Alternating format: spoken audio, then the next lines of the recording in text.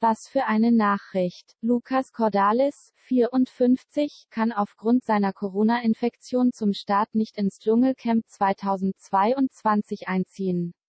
Doch kaum macht die Neuigkeit die Runde, gibt's auch schon erste Gerüchte über einen möglichen Ersatz für den Sänger.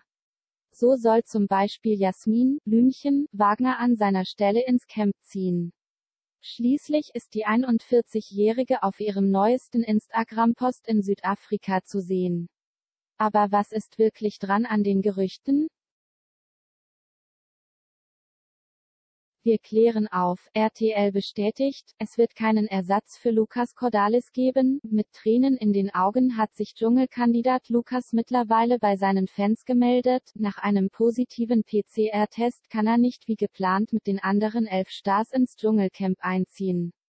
Ob der 54-Jährige zu einem späteren Zeitpunkt einziehen wird, ist noch unklar. Lesetipp, das sagen Jenny Frankhauser und Familie zur Schocknachricht. Klar ist dafür aber eines.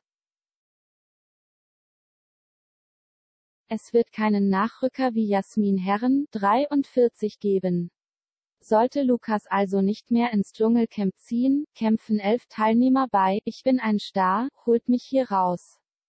2022 um die Dschungelkrone. An den Gerüchten um Blümchen ist also nichts dran. Dschungelcamp 2022 im TV und auf RTL Plus. Ob Lukas Cordalis doch noch ins Dschungelabenteuer starten kann, bleibt also abzuwarten. Für die anderen Stars geht's am 21.